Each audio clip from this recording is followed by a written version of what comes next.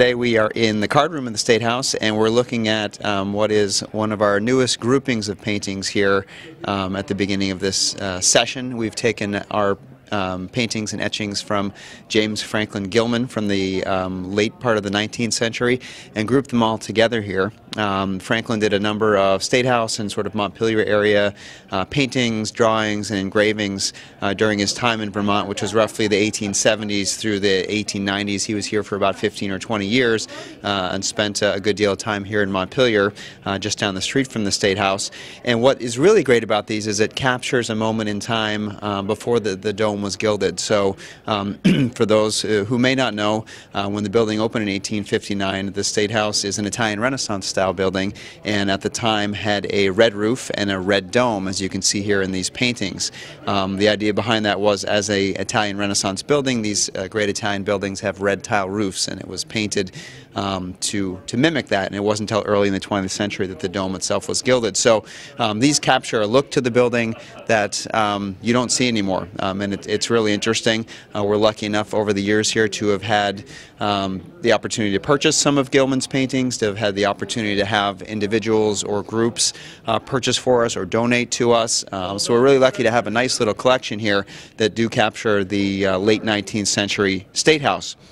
Now, Gilman came uh, from Massachusetts in 1872 here to Vermont and um, was a pretty uh, itinerant and accomplished artist at the time. Um, he did a lot of paintings around the state here of um, farmsteads and homes and, and things of that nature. A lot of times he would be given uh, room and board in exchange for doing a painting uh, for someone along his travels here through Vermont. Um, he had established himself in the, the mid um, 1880s with a studio on State Street here in Montpelier and was working in a variety of different media uh, at the time. Um, but the ones uh, you may see Gilman's around here and there. Uh, the Vermont Historical Society has a really beautiful one that's very large that has this, the State House with the red dome as well. Um, but for obvious reasons, uh, the ones that certainly draw our attention are um, the ones that do depict the State House. Uh, interestingly enough, these are depicting it from different angles, different places, uh, and for different reasons. We actually have one here that is uh, a black and white uh, etching that actually was commissioned at the time, uh, we're almost certain, by the Catholic Church, which used to sit a two-steepled Catholic church uh, next to the State House, just down the street here on Court Street. And uh, this was donated to us uh, anonymously a, couple of years ago in memory of, of Sue Coffin, the, the um, wife of Howard Coffin. And this is a really amazing piece. We're, we're quite certain that it, was commissioned for the church because if you look closely at the, uh, the paper it was etched on, uh, that it was done on, there's actually a watermark of the church on there as as well. Um, that's, that's difficult to see unless you get right up against it. So um, a lot of different perspectives, a lot of different reasons, that many that we'll never know why certain paintings were done or who they might have been painted for.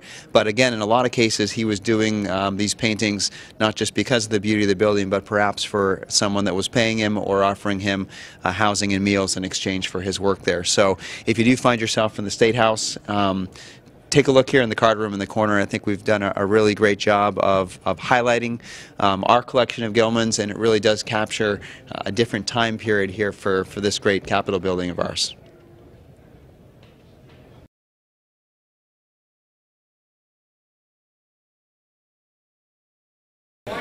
My name is Elizabeth Novotny. I'm the president of the Vermont Bar Association, and it's a pleasure to be here with all of you today. Uh, I'd, uh, I'd like to uh, just take a moment, moment and talk to you a little bit about the uh, what is the third annual award ceremony for the Dr. Martin Luther King Jr. poster essay contest for Vermont middle school students. Um, we are proud of all of the students who participated, obviously, in particular the three that uh, are featured here today. And we are actually really thrilled because this year we had a record number of submissions. And that's a true testament to the power of Dr. Dr. King and his legacy and his work. And we remain committed to that legacy because justice and the quest for it really is a daily endeavor. Um, I'd also like to take a moment and acknowledge uh, our co-sponsors of this event, uh, in addition to the Vermont Bar Association, we have the Vermont Bar Association's Young Lawyers Division and the Vermont Bar Association's Diversity Section. So in the audience here today, Teri Corsones, our Executive Director of the Vermont Bar Association, Jessica Brown, who's here on behalf of the Diversity Section, Molly Gray, Vermont Bar Association Board Member and member of the Young Lawyers Division. Yes, and I just saw that Judge Waples came in the room. Hello, Judge. Good morning. Good morning. And Judge Nancy Waples, who was the former chair of the diversity section and was chair of the diversity section when this contest uh, was conceptualized and created. Thank you for being here. I know you've come every year. You still remain committed, so thank you for that. Um, and I want to particularly thank all of the folks from uh, the diversity section, the lawyers division, and from our offices at the uh, Bar Association for their work in creating this contest and supporting it through the years. Thank you very much. So each year, the sponsors of this event select among the many poignant and thought-provoking quotes from Dr. King, one quote. That's actually hard work if you think about it, right? And this year's quote is, true peace is not merely the absence of tension, it's the presence of justice. So congratulations to all of our contest participants and winners who gave life to the meaning of this quote and in so doing, honoring Dr. King and his work. Um, I'm also very honored to have the opportunity to introduce uh, our awards presenter, Governor Phil Scott. Many of you don't know this, but young Phil Scott, in his first year at the University of Vermont, was studying to be a teacher, a technical education teacher. And while his career path changed, his commitment to um, education and Vermont youth and their success has not. So thank you, Governor Scott, for your commitment to this contest and your support for this as well. Appreciate it. Um, so now I'd like to invite Governor Scott to present the awards. Thank you very much. Appreciate Well, it. thank you very much.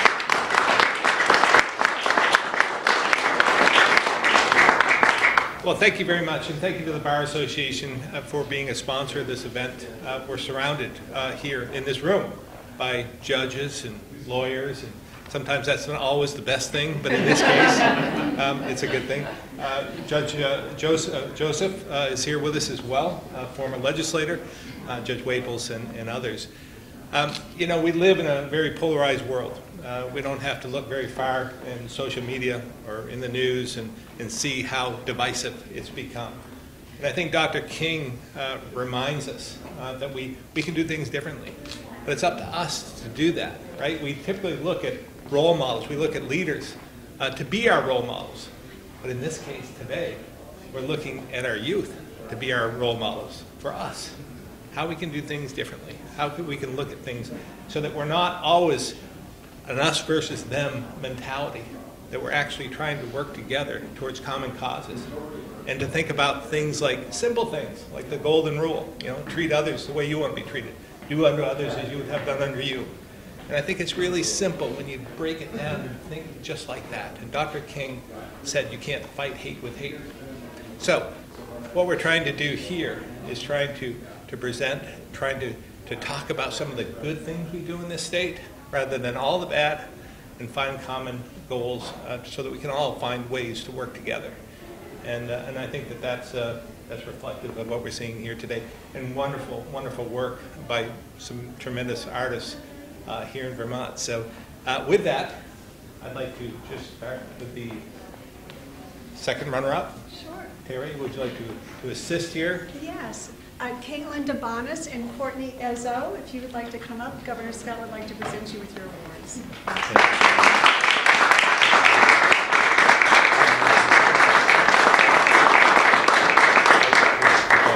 Come right around here, this is the way we do things, then we can do pictures.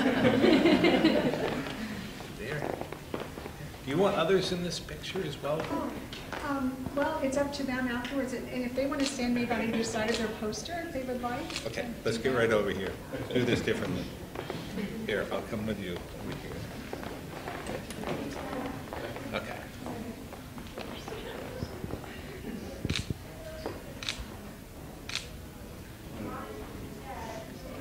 I know Governor Scott in the past, he asked.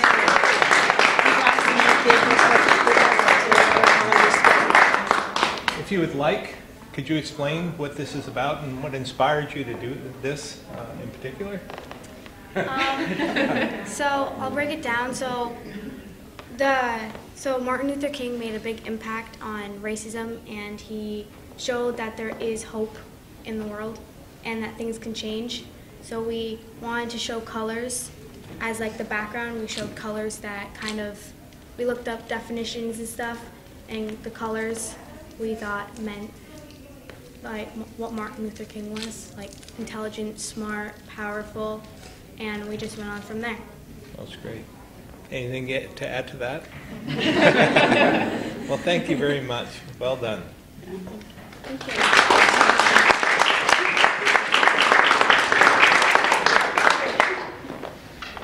Now we'll go to the first runner-up. Elizabeth Cunningham from the Edmondsville School. And, whoop, sorry.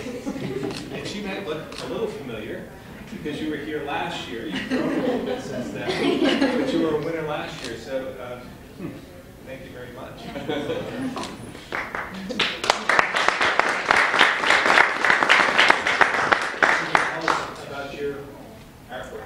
Um, so as you know, um, Junior, he made a face and how he's like a leader in the civil rights So these are actually chairs from the four chairs that the Greensboro Four sat in, which they were they were four black men sitting in a, at a white lunch counter, and they weren't served, but they didn't move. So that kind of represents the presence of justice, and this is a cannon from the end of the Civil War, which means there was like an absence of tension. The Civil War was no longer happening, but there still wasn't justice present.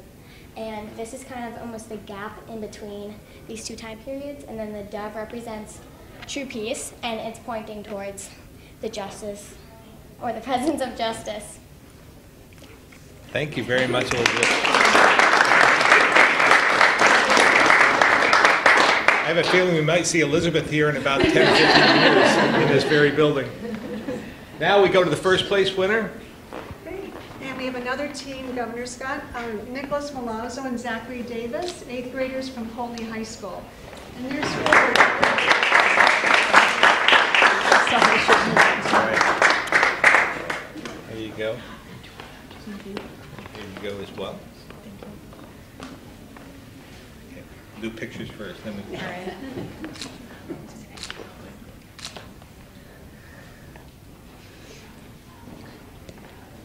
Seems to be a common theme at Poultney High School. Can you tell us about your artwork? So, um, it's like the base is the theme. We started off.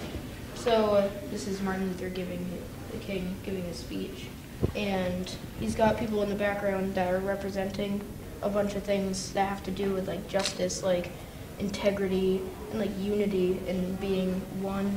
And then we've got a pride flag out in the back, and he's just kind of like showing that we're all one big community and we gotta like work together to and it says down at the bottom here you have to do stuff about your problems you shouldn't just ignore them to keep peace Well, thank you very much. Anything you want to add to that? really We, we talked about their, their artistry skills um, before, and, uh, and I was telling them that I, I can't, uh, I can't draw figures all that well. I can do architectural type, type of drawings, but, uh, but they said that they couldn't do uh, figures either, but I, I would disagree.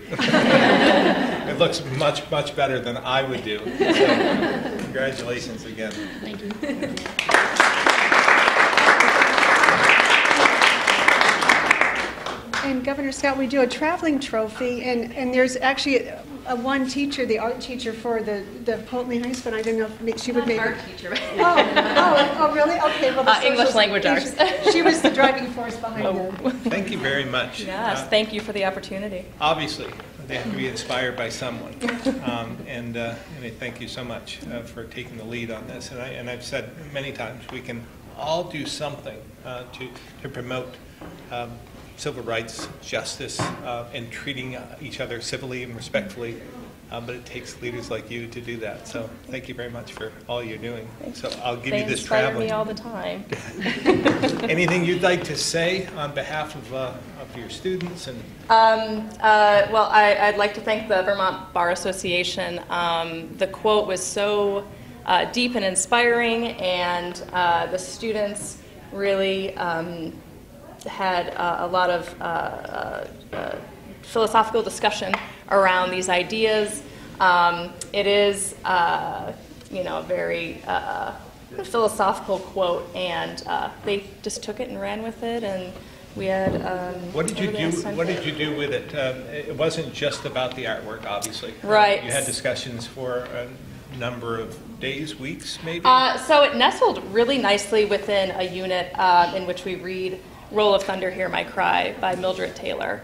And um, so we had been studying race, racism, uh, white privilege for a number of weeks leading up to this, and it fit really well into a chapter uh, that um, deals with this idea perfectly um, that uh, in, in the novel, a white landowner is trying to um, shut down a boycott that's happening, you know, by telling um, the people of color that, um, you know, we can, this is a peaceful community and we can all just wipe this under the rug. um, but obviously, there was a lot of tension there and a lot of uh, discord and unhappiness under the surface. Uh, so this fit really well into that. And we read about the bus boycott, and uh, so it was pretty naturally um, and organically uh, fit in well. So- Yeah, well, well done, and uh, we thank you all for your Thank efforts you. as well. We have a lot of, uh, some proud, uh, proud legislators here as well.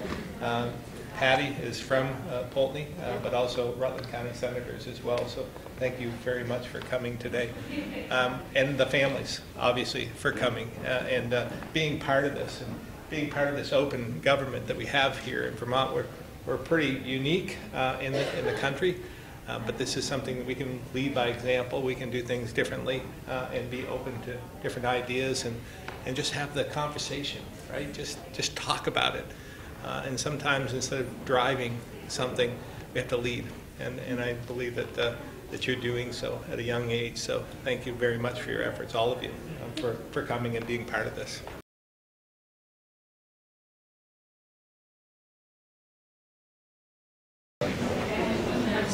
All so much for joining us today. I think I know most of you here, but just in case, I'm Joyce Judy, President of the Community College of Vermont. This year,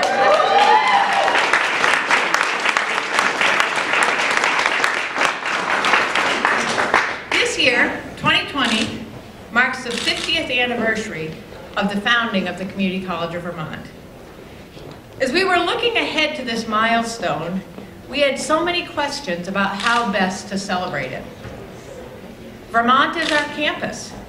We have 12 academic centers across the state. We knew we wanted to hold a series of events in our local communities so students, faculty, and staff could all join in the celebration. We also wanted to hold a kickoff event here in the State House so we could acknowledge and thank the governor, senators, representatives, other statewide officials, and our partners who are so supportive in our work. Following our birthday cake celebration this afternoon, we are proud that a joint resolution commemorating our 50th anniversary will be read in the House chamber to acknowledge the many ways CCV has served and impacted Vermont these past five decades. But before I introduce our guest speakers, I would like to acknowledge a few others who are in the audience. First, our VSC Chair of the Board of Trustees, Churchill Hindes from Colchester.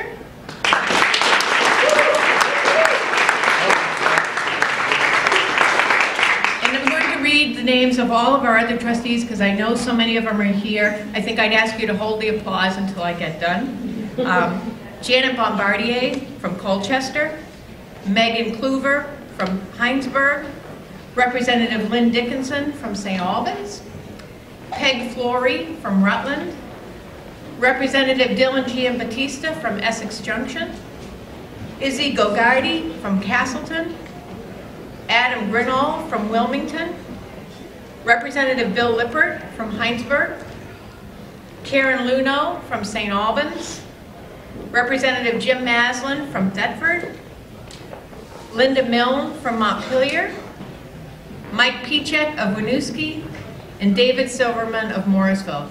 Now let's give them a hand.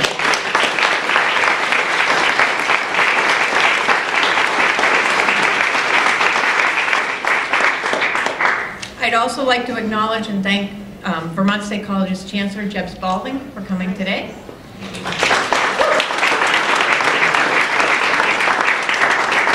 And I am incredibly proud that we have two past CCV presidents with us here today. Our founding president, Peter Smith,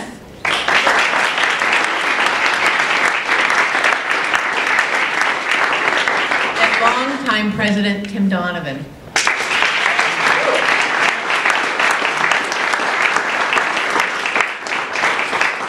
We also have several phil- philanthropic supporters here with us today, but I want to acknowledge a few of our very longtime partners who have been so supportive. First, the president of the J. Warren and Lois McClure Foundation, Barbara Benedict.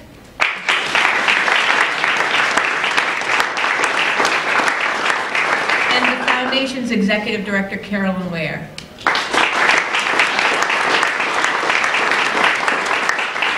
President and CEO of the Vermont Community Foundation, Dan Smith.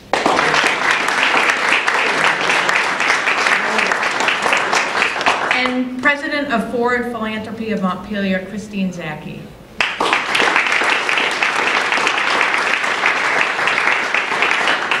These partners provide incredible leadership for our mission in Vermont, and they support programs for veterans and active military students at CCV, programs that help us engage middle and high school students so that they so that more Vermonters realize the doors that can open by continuing their education beyond high school and that they too can go to college. And they also support a dynamic variety of grants to help us innovate and improve our services for all students. We are incredibly grateful. Many CCV faculty and staff are here this afternoon, and I want to thank you all for your incredibly dedicated work. However, I do want to acknowledge that this is the first week of our spring semester, so there are many staff and faculty and students who are not with us today, because this, as you can imagine, is an incredibly busy time. But for those who came, thank you so much. And finally, we are especially glad to have several students and alum joining us today. Thank you for being here to represent the 5,000 CCV students who are enrolled in courses this spring. Students and alums, will you raise your hand so we can acknowledge and thank you?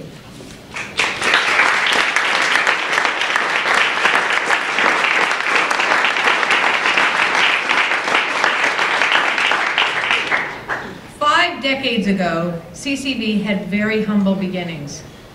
Governor Deane Davis charged the Special Commission with finding a way to deliver post-secondary education to Vermonters in their local communities. To go to college in Vermont in 1970, you had to find your way to a college campus. And as you can imagine, this made going to college out of reach for so many Vermonters. In 1970, CCV opened its doors with 10 classes and 50 students in Montpelier. If you think our funding is tenuous now, back then, CCV was a single line item in the entire state budget. So fortunately, that changed within a few years when CCV joined the Vermont State Colleges. CCV grew quickly, ending up with 12 centers across the state, from Newport to Bennington, St. Albans to Brattleboro. But I dare say, I don't think anyone in 1970 could have imagined that we would become the second largest institution of higher education in Vermont. From the start, CCV has been focused on access. We claim to be within 25 miles of 95% of the state's population. However, if you live in Canaan, it probably does, this does not, this does not work, but we are, we, we strive to serve everyone. We are also the wide end of the funnel, offering a place for students from all backgrounds to enroll in college. From high school students looking to save time and money on their college degree, to the working adult who's been passed over for promotions because they lack the credential or degree, to the professional looking to upgrade their job skills, to the veteran looking to transition from military to civilian life, and to, to the new Americans building a new life for themselves and their families. No matter the need, CCV is here for you. In 1996, long before it became a trend, CCV recognized that online learning technology could help more Vermonters access college courses and programs. It took geography out of the equation and gave students with irregular job schedules, transportation, childcare issues, access to college learning. We even have many veterans, military students, who are either deployed or waiting to de- be deployed enrolled in our online classes because they can continue their studies while they're overseas. CCV's goal is to be accessible and to prepare students for their next step, whether it is a new job, a promotion, or transferring to a bachelor's program. In the past five decades, 150,000 Vermonters have enrolled in CCV courses. But there is one lesson that we have learned that has made all the difference in how we do our work. A community college must take its name seriously and work together with the broader community to bring our shared resources to the table. We have partnered with four-year colleges and have built pathways and guaranteed admissions programs for students to transfer their CCV courses into bachelor programs within the Vermont State Colleges, the University of Vermont, and me- most of the privates, especially Champlain and Norwich. We work closely with VSAC, the Agency of Education, Corrections, Vocational Rehabilitation, the Department of Children and Families, the Department of Labor, the Department of Commerce, and others to coordinate services and opportunities for students. We have built close connections with high schools and tech centers across the state, with the business community, and with our incredible funding partners. Working together, we strive to meet the changing needs of Vermonters so the credentials and degrees we provide lead students directly to good jobs, self-sufficiency, and financial security. But we recognize we cannot do this work alone. Our collaboration works because we all share a core belief that education has the power to transform lives, inspire individuals and families, and strengthen our businesses and communities. We look forward to continuing our work together in the next 50 years to meet the challenges ahead and to build a strong and thriving Vermont.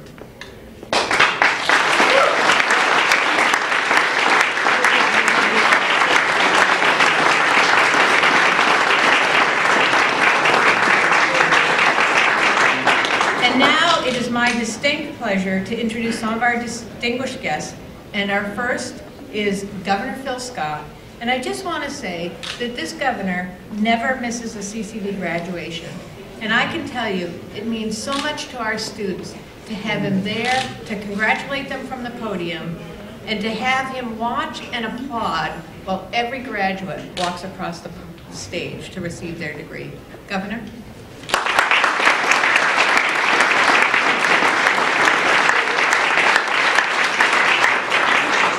Well, thank you very much, Judy, and uh, you deserve so much credit, credit for your leadership. Uh, It takes that, leading by example, and I think, um, I think we all uh, owe you uh, a debt of gratitude for everything you've done. Um, As well, congratulations to all of you. Uh, You do know how to draw a crowd here. I look around the room, a lot of horsepower in the room, even a former governor in the back. Uh,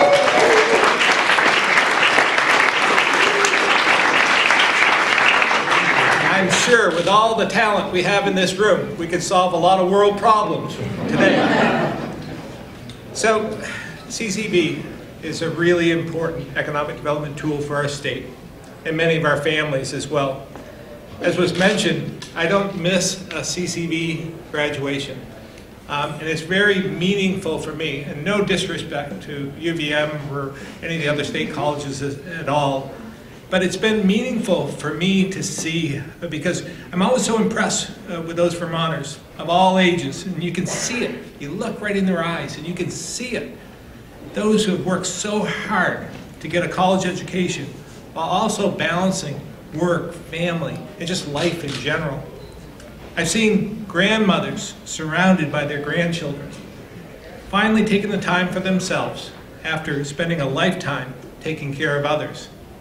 I've also seen 17 year olds with their proud parents and grandparents watching as they take an early step toward their career.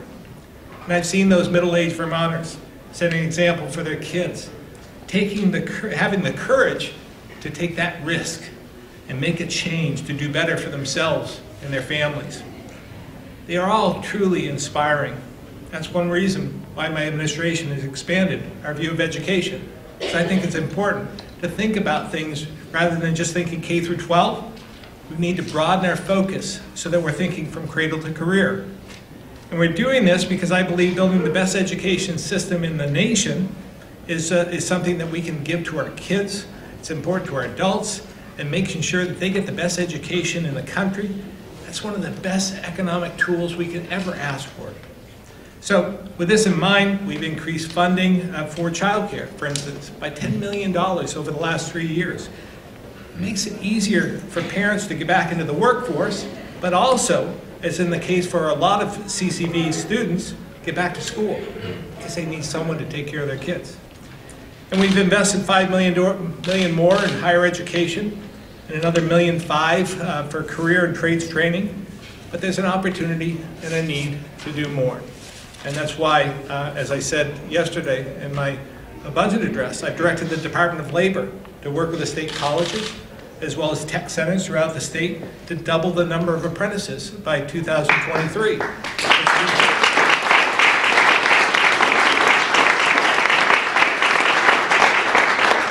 As well, uh, to further increase training, I've asked the DOL and the Agency of Education to work with the state colleges to align our adult education, our adult CTE programs with CCV, VTC, our tech centers, as well as our regional stakeholders. And this will create a, a seamless pathway from school to training to work. It will also help the state colleges uh, specifically um, through the work of CCV uh, to, to expand uh, their reach into our communities, even further expand their reach into their communities. So I want to congratulate uh, CCV and to all the graduates who are here uh, on the 50 years of important contributions to our state, its communities, and families. And I look forward to supporting you in the months and years ahead. So thank you very much.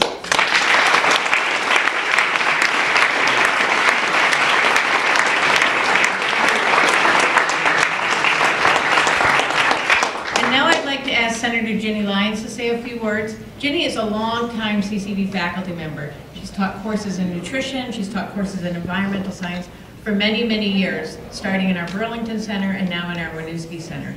And we are so grateful to Ginny and also to, Rep, uh, to Representative and Trustee Lynn Dickinson for co-sponsoring the CCV joint resolution that will be read this afternoon um, on the House floor. Senator Lyons?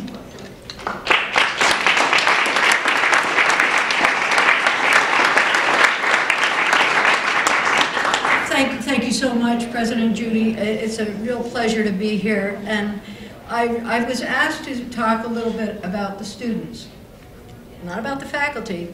We all know who the faculty are. We work hard to bring the very best information that we can and access to community folks, to our students. But for me, it's not about what faculty know, and it's not about what we bring into the classroom as much as what students take out when they leave. So CCV is so wonderful in terms of, in healthcare, we look at access, quality, and cost. Could you say anything more than that about CCV? Access to the very best educational opportunities, whether it's online or in the classroom. It's quality teaching and experiences. Many of us who teach at CCV have had other careers and bring some very common sense, on the ground uh, work into the classroom. Students take away low cost, high quality, accessible information. And I think about some of the students that I've had. Uh, a student who came back from the military was very interested in solar generation, so going into the current environmental issues class, I introduced him to a solar uh, uh, project and, and uh, companies, and now he's working, building solar um, installations. He's thrilled.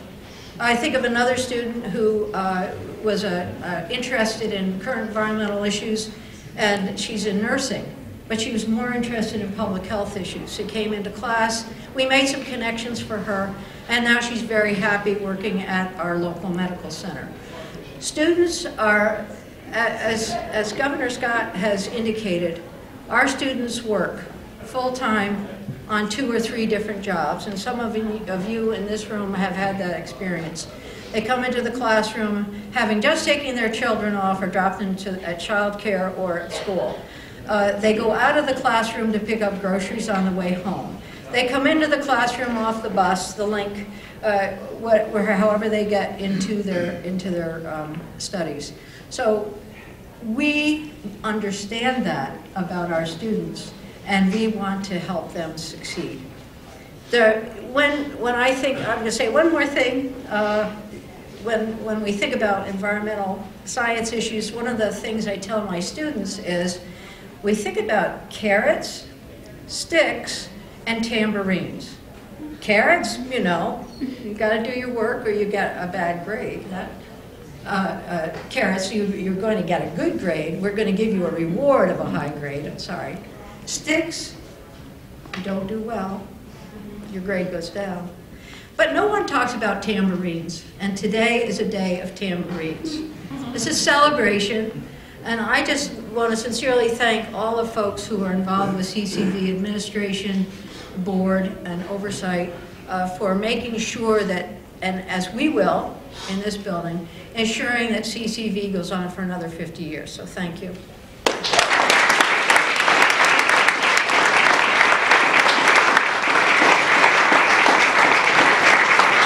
Thank you, Senator Lyons.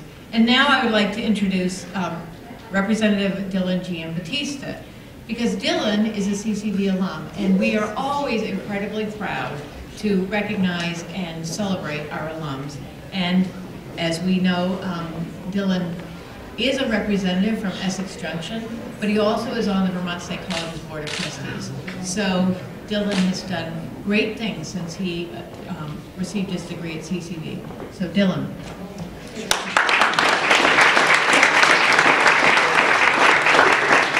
All right. This thing is on. Um, I know we have cake. I don't want to take a lot of time. Uh, but this is a really important day. This is a day uh, of tremendous honor, I think, for both the faculty and the founders of this institution, uh, but also for all of the students who have had that experience. Earlier, uh, it was noted that the governor attends the graduation down at Norwich that is held each year. That experience of building and finding the dignity that is conferred with a post-secondary degree. You know, I know this experience all too well. I started off my post-secondary experience after dropping out of school down at a Rutland County high school, and it wasn't always easy. It wasn't always easy. And for me, what I found in the Community College of Vermont is what so many others have found. Because it's not just a school, it is a family. It is a family with people at all levels looking out for one another. And you know, if you're a student of CCV, if you've been a faculty of CCV, you know the value that when life happens and you're left in a tough situation, this institution is here for you. 50 years of changing lives. 50 years. So I couldn't help myself. I had to go get my diploma because I want everyone to look at what this means to me. You need to know. This is about changing lives.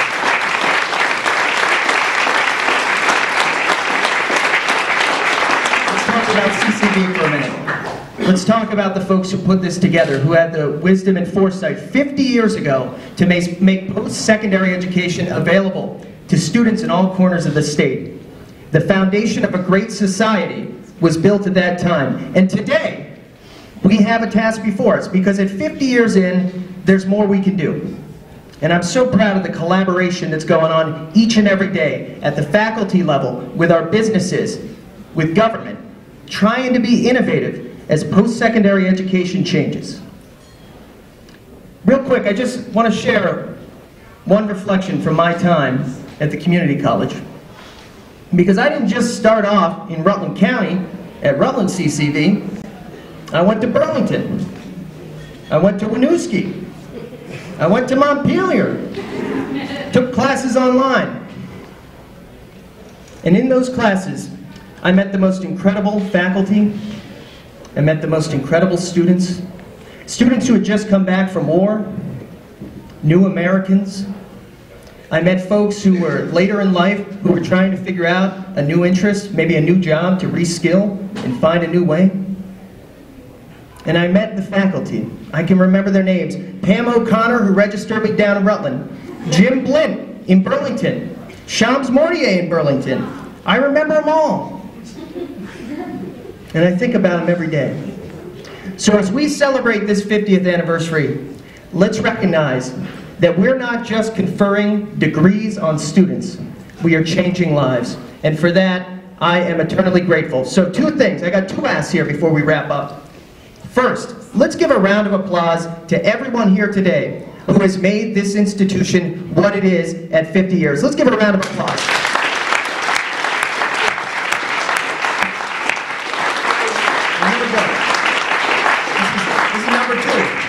And this is about participating before we get some cake. So we're going to rock this building here. I just want to acknowledge that we stand here 50 years in. I'm probably young enough where I'll be around 50 years from today when we gather in this building to talk about what this institution has done for Vermonters over the last 100 years. That's a moment I want to share, and if we all put our heads together, if we support this institution, and if we give it that push into the future, I'm sure it will be just as bright as today. So let's give a round of applause for the next 50 years, and let's celebrate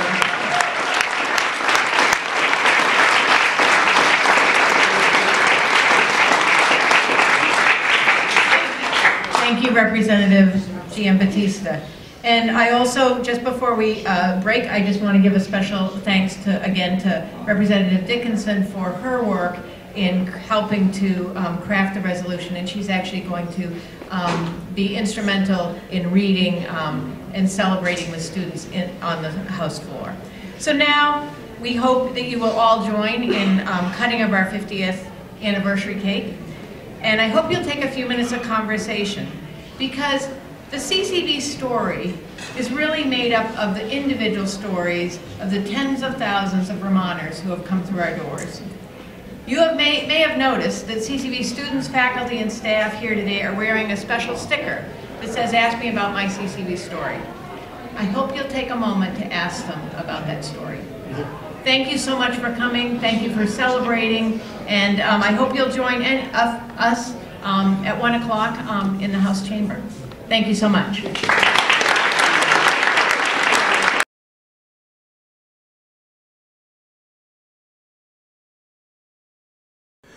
Jim Douglas in the House of Representatives chamber in downtown Montpelier at our state capitol. I'm here as I am every year, at least for the last decade, with a group of brilliant Middlebury College students studying about Vermont government and politics. And I don't think we can really learn it uh, the way we need to without actually coming to the State House and seeing the legislature on a day when it's in session. So we're here today. Uh, the one item on the floor of the House uh, will, will be the uh, Budget Adjustment Act.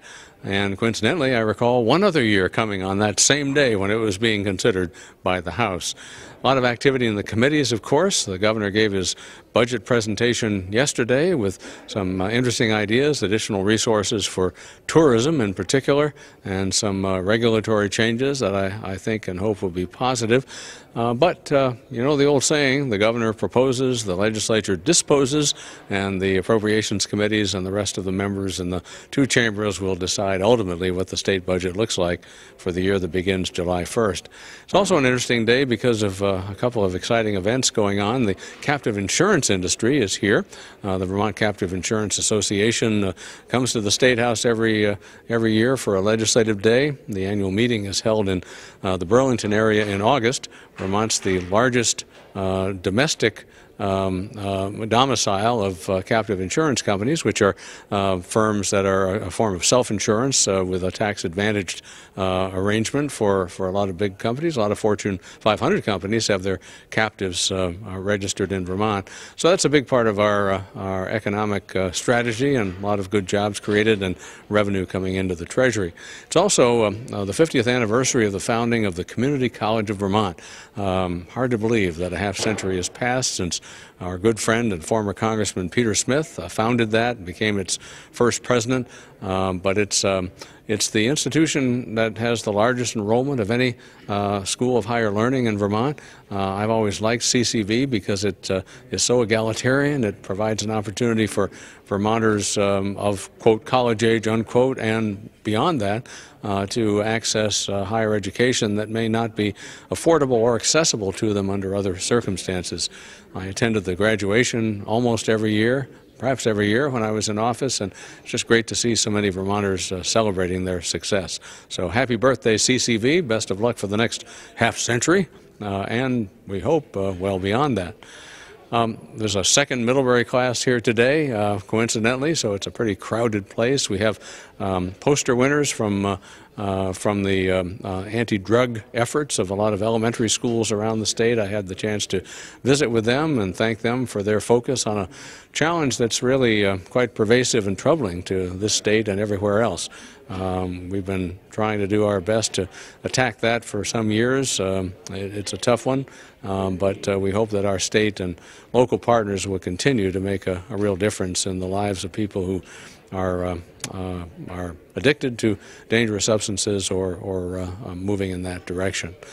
So uh, um, the legislature chugs along. it's a a good time in the sense that state revenues are are relatively robust right now, but I, I, I, worry that we're on a sugar high uh, in terms of uh, the performance of our tax structure because, as Governor Scott has said uh, as re recently as uh, in his budget address, uh, we have a demographic crisis here. We're an aging state rapidly. Uh, we don't have many young people. Schools are consolidating and closing. Um, employers are looking for workers because our workforce has shrunk over the last decade or so. And um, um, perhaps this is a matter of self-interest, but as we uh, see more and more of our population in the senior category, uh, we're going to need people to take care of us. So we've got to focus on uh, rebuilding that workforce, on making Vermont an affordable place to live. And I know that that's what motivates Governor Scott uh, each and every day when he gets up and, and comes here to work. So a lot of challenges, but uh, it's great to be here in the cradle of our democracy. Hi, I'm Debbie Ingram. I'm a senator from Chittenden County, and I serve on the Health and Welfare Committee and on the Education Committee. So, in health and welfare, our big issue today uh, was about flavored e-cigarettes or uh, juuling, um, you know, the, the vaping products. And um, of course, there was a lot of press uh, over the summer and the fall about uh, deaths that were actually caused or seemed to be linked to those products. And um, the problem with the flavored uh, products is that they really appeal to um, to young people. And um, so there's some that are obviously appealing to young people like there's you know candy candy cane flavors and and uh, mango and uh, you know all kinds of things, gummy bear that kind of thing. But also menthol is a flavor which um, which in fact um, cuts down on the um, the scratchiness of the throat and the coughing, so it makes it, um, you know, easier for a kid to um, um, to not have the harsh effects of, of the of the smoking or the juuling, and um, more likely to to get hooked on those products. So we've taken a lot of testimony already, and we're going to take some more about banning those uh, flavors um, outright. and uh, I'm very very interested in that, and um, think that could be a real public health uh, uh measure. Um, and in education, we are uh, looking at a variety of different things, but um, the one that's near and dear to my heart is one that I introduced. Um, it's about universal school meals. And this would um, provide for, uh, and would require all of our school districts to um, to offer both breakfast and lunch um, to all students uh, every day. And the advantages of this uh, would be that you know, all of our kids would have the nutrition that they need. Uh, I, I, know that people realize that a lot of children, unfortunately, are, are food insecure. In Vermont, about 18,000 um, kids are are uh, not able to get all the nutritious food that they need every day, and so they really look to these meals from the school to to help them um, function well and learn well. And um, the way it is now, some districts provide it, some don't. Um, you know, we've heard these horror stories from other states about kids getting shamed for, you know, their parents have not been able to keep up with their uh, food bills, and so they they're forced to eat an alternative meal or are told they can't eat at all. And that hasn't happened in Vermont, but still, it's the, the that shame is there, and um, so this bill would um, take care of all of that and just make everybody equal. Um, the um, the cost would be passed on to the school district. So it would in fact get folded into you know to the um, the budgets and taxpayers would would ultimately pay for it and it might go into the education fund but we're paying for it anyway. Some of it comes out of the general fund some some comes out of it the ed fund. It's it's a real hodgepodge of what's you know what, what currently is going on. And so this will make it transparent and equitable for everybody. And um, I'm really excited about this. Uh, we would be the first state in the nation to, to do this. And I think it's it's really important to do for our children. So that's that's what I've been up to. And uh, thanks for taking the time to watch Hi there, this is Kari Dolan. I'm from the Washington 7 District in the House of Representatives here in Vermont, which represents Warren, Waitsfield, Fayston, Moretown, and Duxbury. And I'm here to talk about an important bill, H3, uh, what is it? H683. Now, this bill addresses our need to support, preserve, protect our migratory birds. As you may know, last year we heard some very startling news that the uh, our bird populations aren't doing as well as we would like them to do. In fact, since 1970, something on the order of 2.9 billion birds have um, perished, and we're heading in the wrong direction in terms of our bird population in both species count as well as the number of birds per species and uh, and this is very unfortunate. Now, Vermont is situated in, a, in, an important location in the Atlantic Flyway. A flyway is the land that, or the, the swath of land where birds migrate between their nesting habitat and their overwintering habitat. And we're in the Eastern Flyway, which is we share with our Canadian uh, provinces to the north, all through that that uh, that coastal Atlantic area, all the way down to Mexico and the Virgin Islands. And what this bill does is recognize how important these birds are. Why do we need to take up this bill now? Well, unfortunately, at the federal level, they've uh, reinterpreted a hundred year old treaty that we have on migratory birds. Now, this has nothing to do with the birds that we hunt. This is all about the non game migratory birds. You know, the ones we love at our bird feeder the, the sparrows, the nuthatches, the meadowlarks the um, the warblers, and what uh, and by adjusting that 100-year-old treaty that we have with our neighboring countries. Uh, by a reinterpretation of that meaning of that bill is a weakening of our protections for migratory birds. Now we all love birds, whether we hunt, we fish, we we walk we um, in the in the wilderness in our woods uh, we all appreciate that music that we hear not not to mention what we enjoy outside our kitchen window looking at our bird feeders and what this does is all it does is reestablish the interpretation of existing federal law and pu- puts that reinterpretation back into Vermont state law. So there's no change in the way we have uh, managed and supported our migratory birds. Uh, it's a, a reestablishment, a reinstituting the 40 year old interpretation of a 100 year old treaty. So that is Bill 683.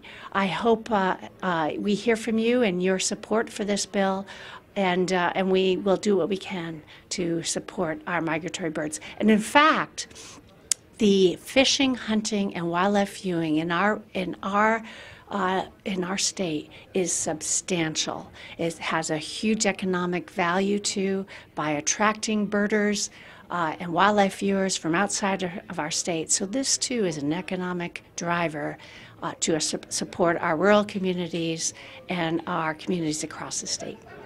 Thank you. Good afternoon, ladies and gentlemen. This is Representative Bob Helm. I uh, am representative of Fairhaven, Castleton, West Haven, and Hubbardton over on the western side of the state as you exit out of Vermont on Route 4. Um, anyways, we're here into the, what is this, the third week, I guess, and uh, we are going to do some work on family leave tomorrow on the floor. We had the Budget Adjustment Act on the floor today, and we'll do it again tomorrow. Everything has to be done a couple times, just a uh, formality. But anyhow, um, yeah, and so that's about it, though. For right now, things are starting to trickle out a little bit, but it's going to be another two, three weeks before things really fire up, which they will. Um, the budget, the Budget Adjustment Act was the one of the bills we worked on this morning, and we will. We are now starting to work on next year's budget, and that will take until for the House until someplace mid to late uh, March, um, and then the Senate will get it, and at that point, the Senate will have a lot of it. But anyways, yeah, yeah. Right now it's still a bit slow getting going, but it will come. So anyhow, that's about all I can tell you for now. It's it's early yet. So thank you. If anybody wants to give me a call, it's 802-770-0262. Thank you. Bye-bye. Hello, I am Representative Diana Gonzalez from Winooski, and I represent Winooski and a bit of Burlington. And I am here to talk about uh, fragrances in the state buildings. Um, I have a bill uh, to study what it would be to uh, create a policy to increase access to public buildings. So there's about 60% of, uh, of us uh, get sick, um, whether um, from fragrances, um, from the chemicals in fragrances, really. Um, those, uh, uh, those folks that have asthma or migraines or chronic health conditions, autoimmune disorders, and the like. And so sometimes folks cannot participate in uh, state government, whether that be here in the state house or that be the, the necessary need of going to the DMV, things like that. And so I have a bill to that proposes to look at what would implementing a no scent policy or a low scent policy. So this is uh, includes just the practices in our state government of what are we clean with, what do we have kind of out in, in public spaces, and then also for folks who are coming in and out of buildings of what uh, the uh, the chemicals that folks have on their person and and how that can um, impact and, and um, reduce the ability for some folks to access uh, being part of uh, of the state. So that's the bill that I have, and just wanted to pop on here and say hello and and say that uh, there's lots of different ways to increase access to our government process, and that is one of them. Hi, I'm Representative Robin Chesnut-Tangerman, Rutland Bennington District, uh, representing the towns of Tinmouth, Middletown Springs, Pawlet, Wells, and Rupert. And I just want to touch on two things today. The first being um, unexpected trials and tribulations in the State House, which I discovered um, when I put all my dress clothes in the dryer with a black ballpoint pen. So I'm wearing new clothes today. Uh, we had to go emergency shopping last night, buy new dress shirts, new pants. Um, just something that I never thought about um, with this job. So uh, you know, live and learn. Uh, the other thing I want to talk about is um, the, the paid family leave bill, which is up for a vote tomorrow. There's a lot of um, concern in the House, um, and that I'm in the middle of that concern because uh, the Progressive Caucus and a few other uh, progressive leaning Democrats um, have major concerns about the bill. We recognize that the conference committee actually made some good improvements in the bill. They uh, uh, lowered the threshold for qualification, they improved leave times, um, included a study on TDI, um, a num- number of improvements. I want to recognize the, the work that the committee did. Um, my concern is about TDI, temporary disability income. And that is the, insurance program that would cover you when you get sick. Um, currently in the bill, there is leave to care for family members or for the birth of a child or adoption of a child. Um, but if you yourself are injured or sick and need to take time off from work, you're not covered in this bill. And that's a significant flaw, I, I believe, because a large number of us have no protection, and we live paycheck to paycheck. Um, and so you miss work, you're out for a week, and you have to start making hard choices. There are a lot of Vermonters who are living that way, that tight, that close to the bone. And for this bill not to include that um, temporary disability income is, to me, a serious flaw.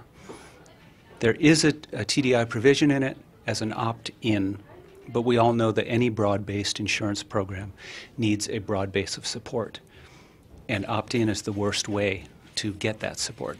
Mandatory uh, enrollment for a broad based program is the ideal mechanism. Opt out is not as good, but still um, better than opt in. So that's the fundamental concern, is that this bill doesn't provide necessary benefit that a lot of Vermonters would improve lives for a lot of Vermonters at a very minimal cost. The vote, uh, this bill is up on the, the floor for a, a vote in the House tomorrow, uh, a vote on the conference committee bill, so it's a straight up yes or no vote. I intend to vote no. And it's not because I don't value paid family leave, it's because I value it too much. And I think we need to be doing better than we are.